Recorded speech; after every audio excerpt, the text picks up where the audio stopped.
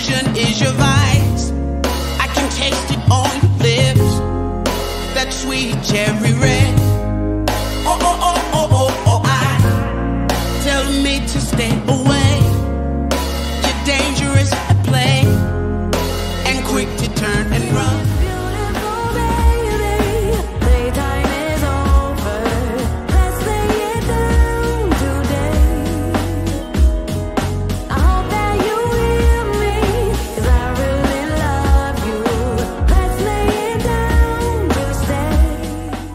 What's up, everybody? I'm Russell Taylor, and welcome to this episode of Soulversations, where I have my homie Deborah Bond here on the couch. Welcome, Deborah Bond. Thank you. Thank you very much for having me. Oh, it's my pleasure. My pleasure. So let's get right to it. Yes. Where are you from? Originally from New Haven, Connecticut, Elm City as they call it, aka Gunwave in New Haven. Waving New Haven. I've Uh, heard stories. Yes, indeed. Yes, indeed. Born and raised. Um, that's, that's where all my peeps are. And how did you end up DC? DC. Uh, 17 came down to study uh, journalism and music at American University. Baby. I was a baby and um, fell in love with the city, like straight up. I mean, first of all, it's a huge contrast between Connecticut and DC, especially in the 90s. Um, so, yeah, came down to DC and just everything about the city. Just fell in love, like, mm, just became enamored with everything about it. So, So let me ask you: when you when you came down to DC, were you interested in music uh, when you started at college? Was it like I have to do this? It was, but you know, my mom was really like, um, "That's not going to be your point of focus." She's like, "Think about whatever, whatever else you want to do in life, and we'll put music on the side. We can, we can dabble in that, but you gotta have another focus." So that was journalism. Shout out to black parents because my parents said the same thing. They were Yeah. Mm-hmm. like, okay, this is great, but we need to get your papers first. Yes, get So- your papers first. So I, I focused on broadcast journalism Mm-hmm. and uh, minored in vocal performance and melted both worlds together for quite a while before things really started kicking off. But Mm-hmm. um, DC, this, the music scene, you know, was really thriving. There were so many bands. It felt like a, a band city. There was everything from group called Fertile Ground in Mm-hmm. Oh, yeah. Baltimore Mhm. and all the, you know, all the go-go was popping. Right. And, um, Divine Nature, Mother's Milk, as they call Right. themselves. So many groups. So I wanted a piece of that action. Like Mm-hmm. I wanted to be a part of that. Even while I was in school and trying to figure my way out in the city, I knew I was going to dive in eventually. So. And so, all, hearing all that music and being exposed to this particular area, Mm-hmm. especially go-go and mother's milk and so forth, that is, would you say that's how it shows up? That is an influence in your music now? Totally, especially like the drums, the percussion. Oh, yeah. I immediately met drummers. Yep, I immediately met Yeah. drummers. Um, so many of them who are talented. Some that performed, you know, right here for Soulversations. Right. Um, and so yeah, DC's the the percussive energy, uh, even the world of gospel that was thriving here. Um, really kind of seeped into the musicians that I decided to work with. Um, and I was a little teeny bit resistant to go-go when I first moved here because I'm from I'm from the north, so I wasn't right. really used to it. And the more musicians I met, the more I started to fall in love with the sound, and the more the sound became almost a part of some of my music. Right, so uh, every everything about the music community when I was ready to dig in influenced me. The the U Street area, Yeah. the places that were allowing uh, up and coming artists to perform and giving you a, a space, a platform. You didn't have to be big. Right. Mm-hmm. There was no one worrying about numbers or worrying about algorithms. It was about can you crank? Right. Can you get on stage and do your thing? Right. Um, and so I met so many. I mean, I, I'm tripping right now because even some some of your actual team here, Right. or you know, one of your team members is one of the first people I ever had a band with. Right. Um, shout out Sam Prather. Uh, Um, you know, shout out Sam, Yeah, very first, cinematographer. very first band I ever ever had, and there were just so many musicians eager to to work with me, uh, vocalists and writers, and so I was like a sponge, and it just all infused into my sound. Everything from a little bit of that that pocket of the go go Mm-hmm. to some of that gospel, and then there's just there was just so many like the R and B world was just. I mean, Eric Roberson was in. Oh, yeah, Eric. You know, and Sy Smith Sy. and YahZarah. There was just so many people that were inspiring me to not be shy about what I was doing and to get into it.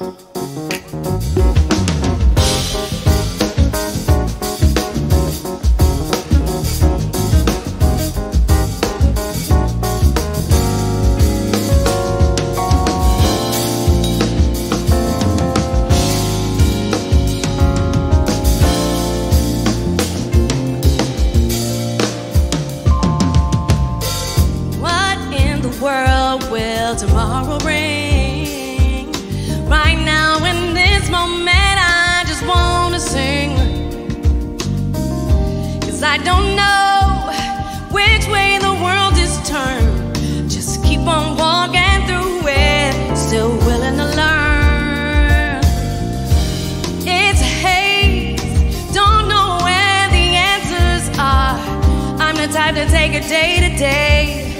I know my faith will get me far. This road seems so long, times I feel alone. Better lift my head and keep moving on. I wonder if there's a reason for this. Confused and broken, send me a temporary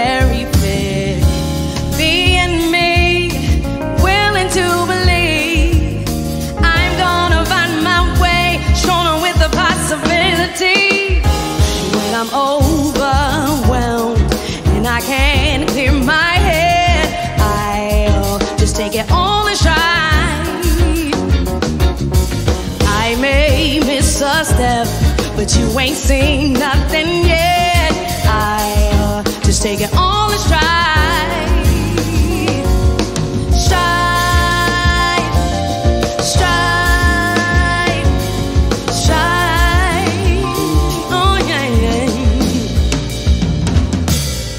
Pushing towards what's in front of me. It's easy to be consumed with anxiety.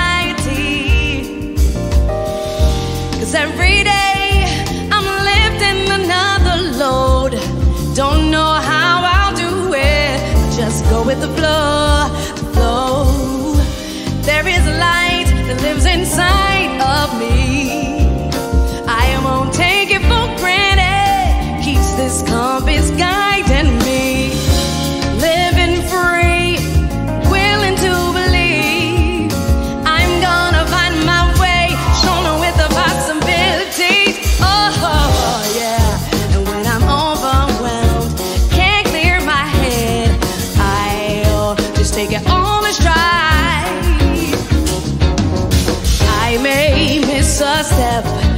you ain't seen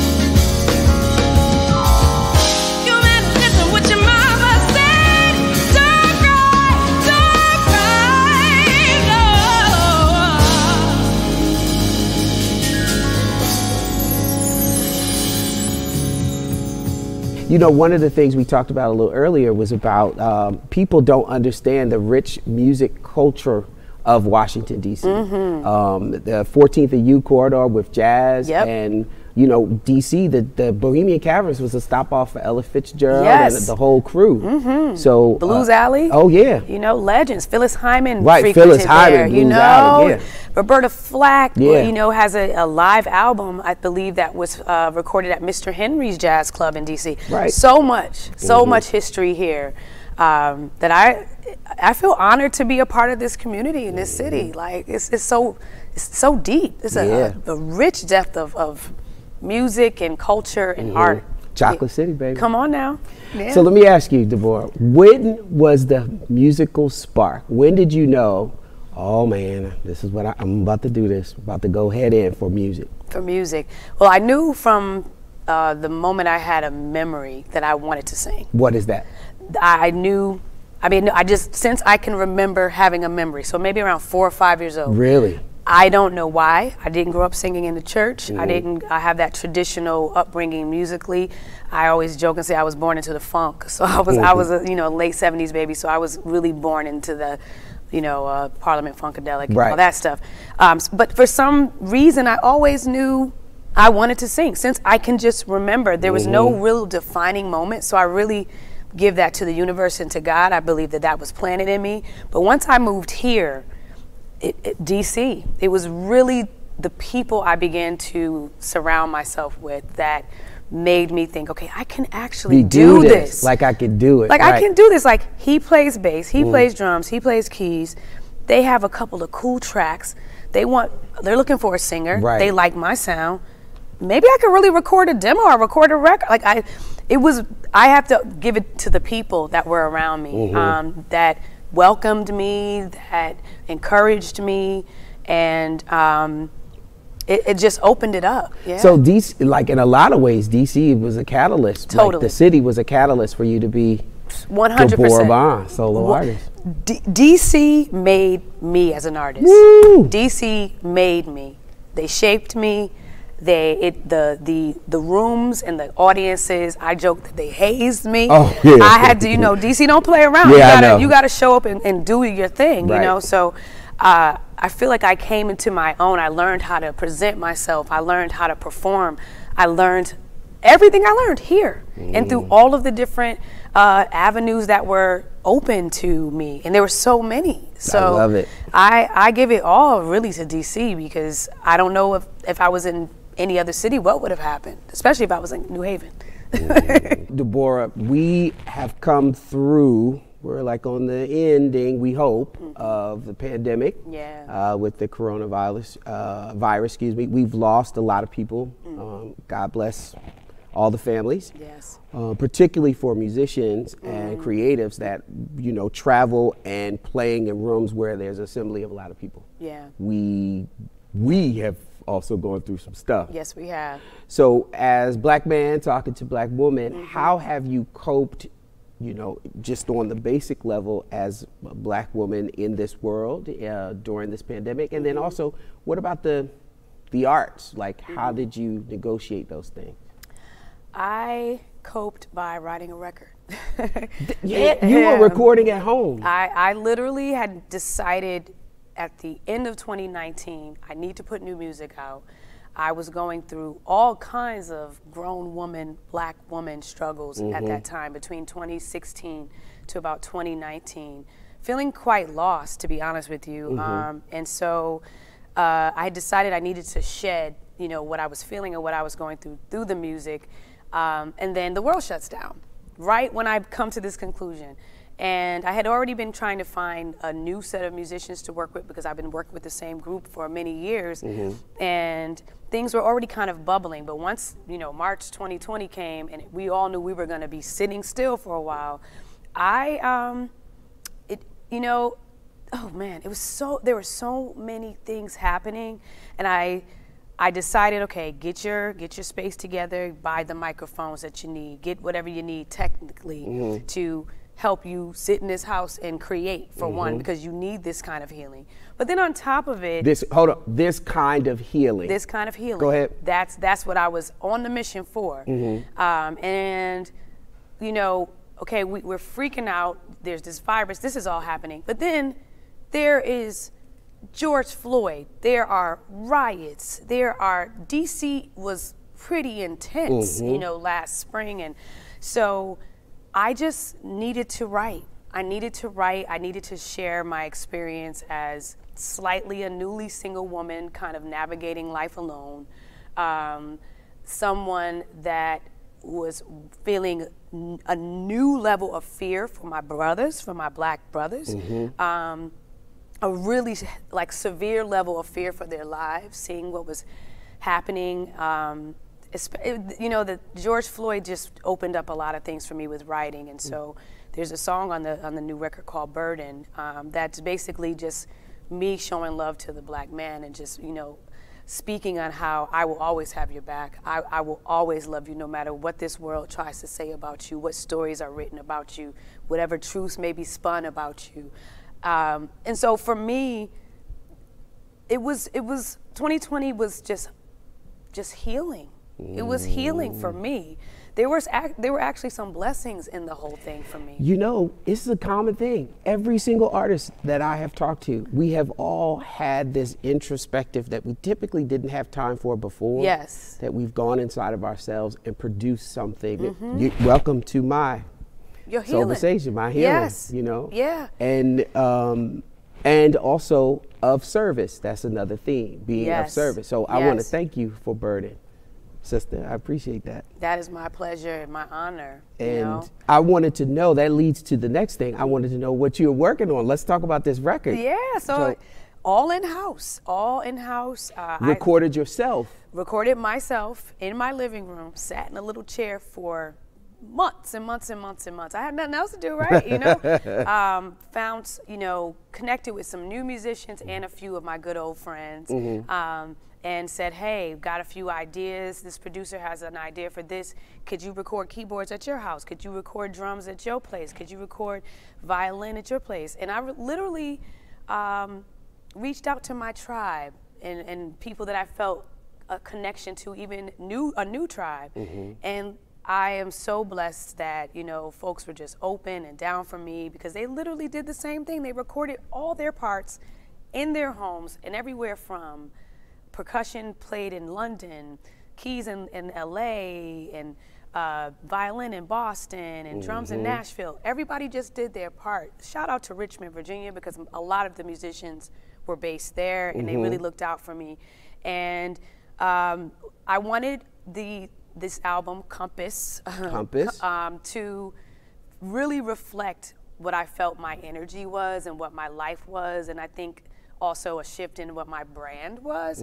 And so I moved away from some of the bright, colorful, bubbly, ah, life is everything, is everything is so sweet and grand, and what folks might have felt from my last album to wearing a lot more black, um, recording and leaving mistakes, letting things have grit, letting things feel vulnerable, letting things feel real, um, having the artwork have no color, having the work, the the songs be one word in lowercase. I started to really dream up the significance of it all through last year, like wanting to show a vulnerable side of myself and a raw, that particular word, a raw and grittier side of myself. Um, and to sh- we were in a time when just the world was not a pretty place, not just mm-hmm. America, but the world was suffering. And I felt like I needed to reflect, I needed to show that through the art. So Compass really does represent kind of feeling lost, midlife crisis for me, trying to find my way and, and letting the universe guide me to where I needed to be. And it guided me to these amazing musicians and illustrators who, uh, who I commissioned to do all this artwork for the, for the booklet. And um, it's so much about it is the most authentic I've ever presented myself. And also in the, the most scary way because I was really nervous about the sound of the record being done at home. Um, It's a beautiful record. Thank you. And and when I listen to you speak, I think about uh, one of I'm gonna paraphrase one of James Baldwin's co- uh, quotes. It's about art. That art it has a responsibility to be truthful, so we can lead other people to their truths. Come on. Another thing of service. So, Yes. um, and I also find too for myself that when we are artists are working on whatever medium, um, the more, the longer we are in the game, the more authentic we become, the less afraid we become in telling the truth and letting Exactly. people Show see. who we really are. Yeah. Show who we and, really and, are. And to be fair, who I was five years ago is very different than who I am now. That's And who I hope to be, you know, in a year from now. So Yeah. uh, this record Compass is some real, sh- real, I was excuse me, terrified. real stuff. I was terrified to drop it. But I I'm- was terrified. But to I'm gonna tell you it. what though, I have to also say like triple claps for you because you were like, look, I gotta do this, and you recorded at home. You recorded yourself. Yeah. That's a discipline in and of itself.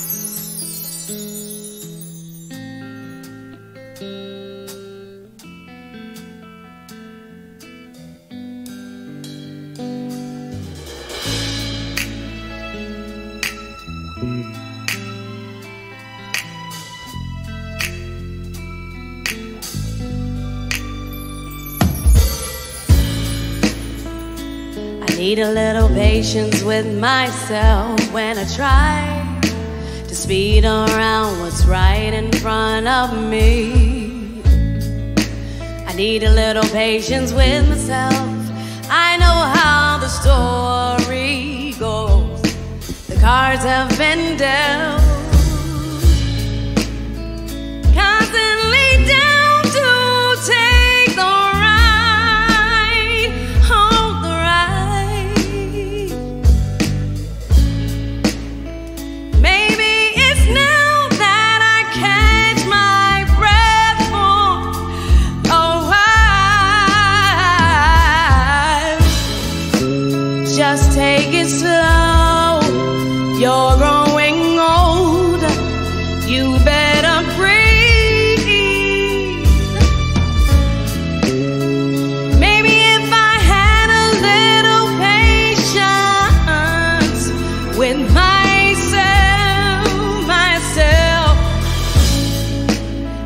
Know by now the pacing of my life. Why do I try to believe things will come to me swiftly? I've learned many times before the lanes can take a left turn, and before you know you're down, you're lying on the ground.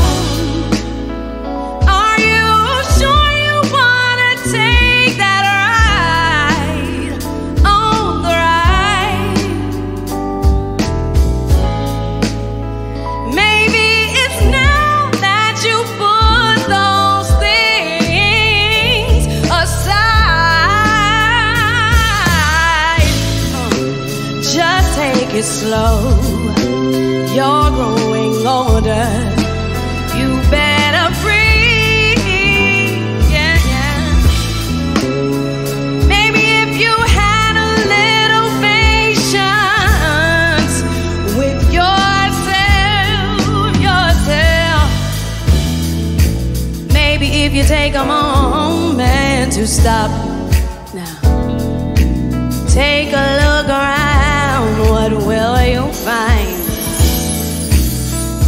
Destinations, and signs say that you've arrived.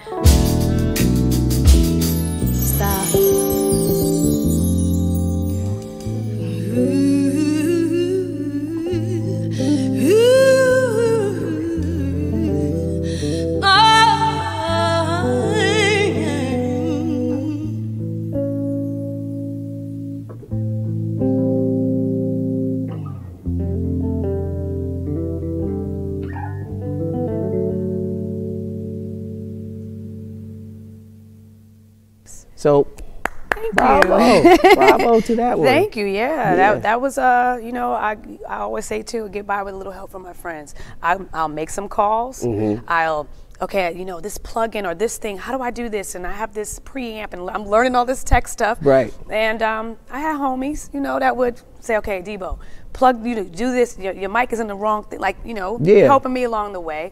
And I've done uh, voiceover work, and I worked in radio Oh, for, yeah. for 10 years. So I had the experience of recording myself at home, but not on this level. It's Right. usually for jingles and voiceovers. But uh, this was the next next level with it. But you get a triple clap on that one. I. Definitely. now let me ask you. So if we look at Compass, and if you could name your musical DNA, Mm-hmm. what would it be? name my musical DNA. And you can pull from anywhere. What's in that helix of yours? What's in the helix? Well, for for Compass, this particular DNA had a little bit of the energy of, uh, ooh, I was I was reaching back into like my Mary J. Blige bag. Um, uh, Brandy. I, I was I was definitely looking to the sisters of a very specific time in music, kind of like the '90s, early 2000. Um, kind of like heavy drums, you know, Okay. that that head nod kind of zone. But then there's this mixture of like, there's always going to be Chaka in the DNA. Yeah. Mm-hmm. The, the, because of the way I like to sing, the, because of the way I like to arrange. So there's always going to be a little shock in the DNA. But it was really like a lot of. Um, Faith Evans and Brandy, 90s R&B, but the knocker- to Men, some of my Oh, arrangements. Okay. hmm Um, yeah, I, I teamed up with a phenomenal songwriter named Gordon Chambers. Yes, Gordon. Shout out Gordon Shout Chambers. out Gordon, Uh-huh. who co-wrote "Stride" with Mm-hmm. me, and um, that was my Anita Baker bag. Mm-hmm. And so yeah, it's a, the ladies of of like 90s R&B. 90s R&B soul. I, w- I wanted to go, and I, you know what's wild? I wanted to go back to New Haven because New Haven was where you know New Haven has a love for like hip hop R&B. Mm-hmm. It's an urban like it's a, it's an around the way city. People don't know that Connecticut has a city or two or three that Right. exists like that, but I'm definitely from there, and so I wanted to kind of like I wanted a lot more like B girl energy, swagadocious, like, Mm-hmm. um, yeah, that that particular for this record, for Yeah. this moment, So you 90s,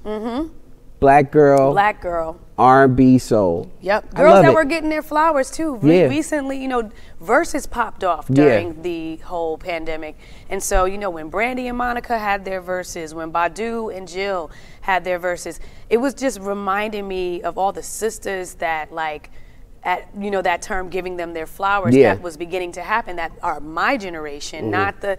I love her, you Right. know. I love some of the youngins coming up, but like it was just beautiful to see this wave of like Generation X singers, like Right. my generation, and I, I was really going there with this this record. I Yeah. love it. Yeah. I love it.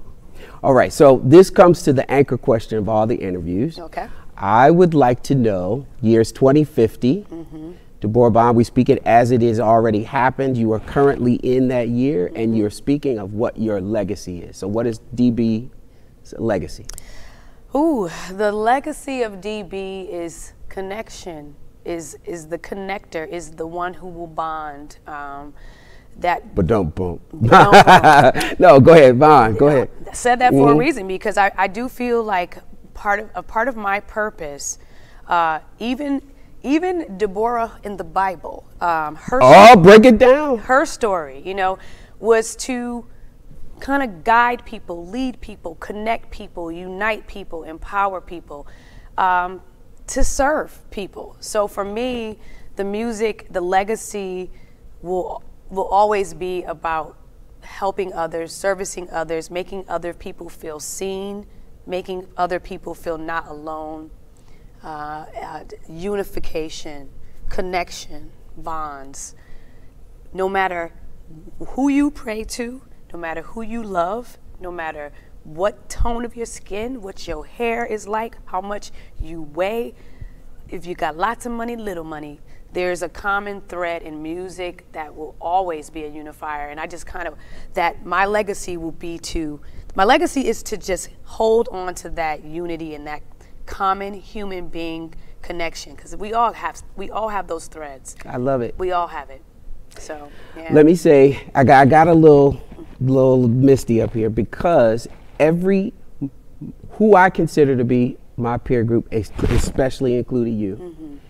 everybody has mentioned somewhere or another service. Yes. And it just makes me feel like I'm Mm. with my people. you, you, God don't make no mistakes. We, we, we're drawn to each other. Bingo. We're drawn to each other, and as as artists, we are always going to be of of service. I mean, If your heart is in the right place and you're doing the authentic, and it doesn't There you matter, you could be you could be of service, dropping it like it's hot. Yeah. But it's all about the intention. yeah, yeah, it's all about the Well, intention. How about we just keep being of service? And um, this record, congratulations. Thank you again for stopping by. Thank you for having me. Oh, Thank man. you for doing this and giving us this platform. Oh, nah. We need it. We appreciate it. It's everybody. It's all good. No Yes, problem. indeed. All right, so I'm Russell Taylor, and this is Deborah Bond and this episode of Soulversations.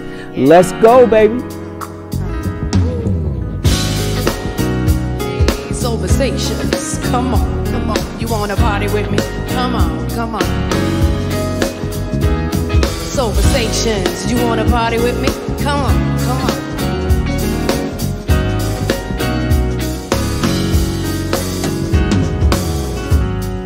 It's just another sad love story.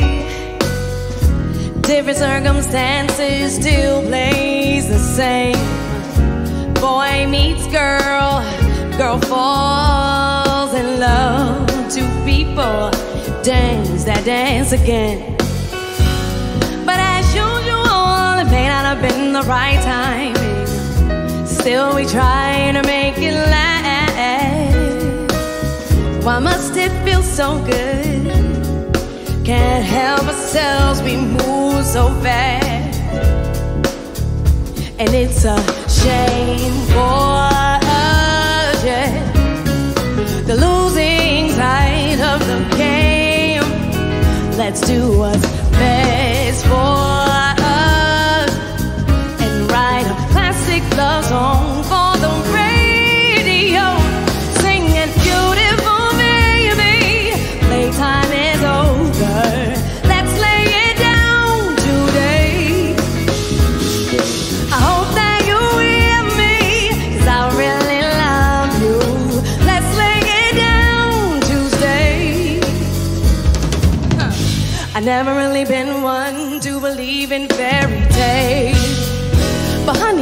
bring out my inner child.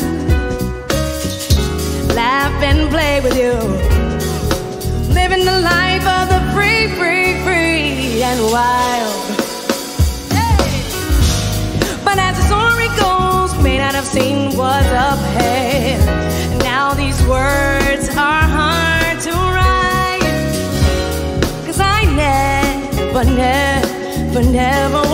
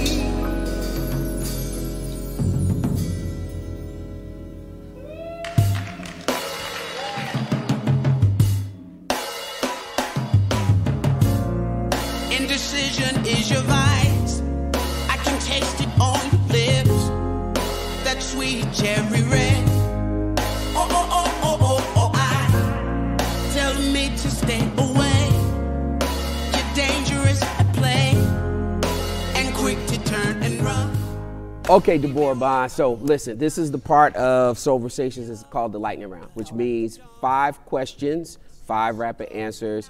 You can't change the question because we always do if you know not what you want. But like you would do your best, and if you have to, we can pass. But Okay. let's try. Okay, Okay. five lightning round. Here we go. Okay. If you had your choice of doing a show with any artist, dead or alive, who would it be? Oh boy, would be probably Prince. Good one. That's Oh. the first thing came to mind. Okay.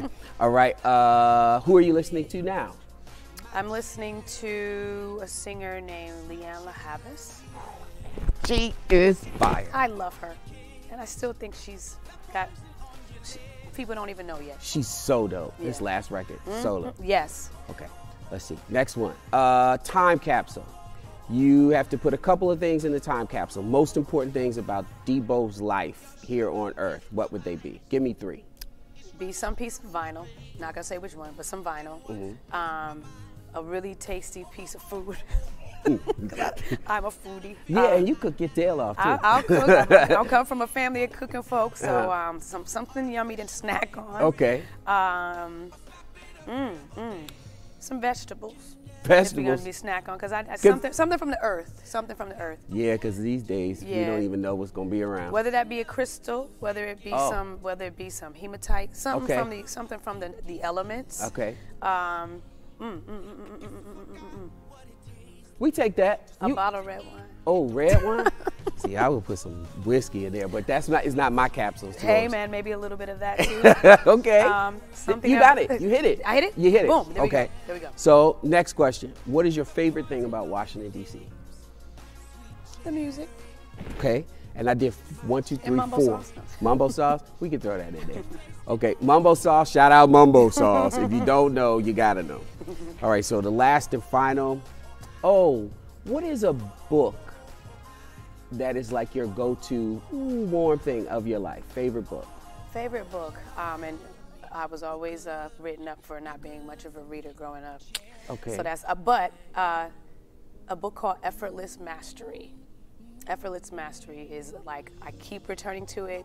It is something that most artists and musicians should check out. I cannot remember the author's name, he's a musician himself. It's But it's all about the mental approach to being a creator and getting over your ego and doing it for the right reasons and having the right intentions with it and how it can change what you consider being a master of your craft. Effortless mastery. You passed lightning round. Ah, shout out. Thank you. Thank you for playing, Deborah. Thank you for having me.